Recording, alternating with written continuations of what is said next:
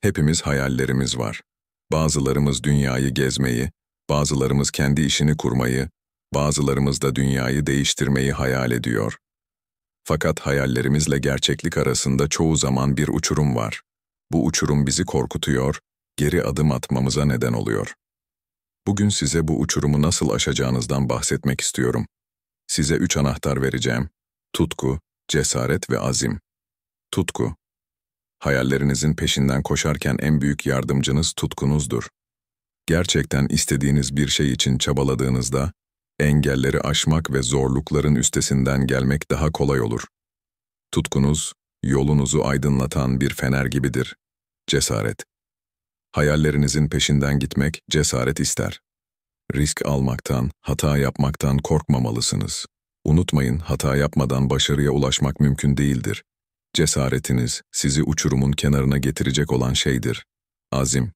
Hayallerinizin peşinden koşmak uzun bir yolculuktur. Bu yolculukta pes etmemek, her zaman ilerlemeye devam etmek çok önemlidir. Azminiz, sizi uçurumun diğer tarafına taşıyacak olan şeydir. Unutmayın, başarısızlık, başarının bir parçasıdır. Herkes hata yapar. Önemli olan hatalarınızdan ders çıkarmak ve tekrar denemektir. Kendinize inanın. Yapabileceğinize inanın, başarmak için gereken güce sahipsiniz. Asla pes etmeyin, hayallerinizden vazgeçmeyin, onları gerçekleştirmek için elinizden geleni yapın. Hayallerinizin peşinden gitmeye cesaret edin.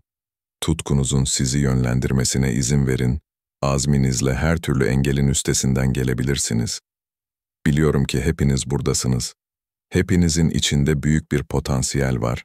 Hayallerinizi gerçekleştirmek için harekete geçin. Bu dünyayı daha güzel bir yer yapmak için elimizden geleni yapalım. Teşekkür ederim.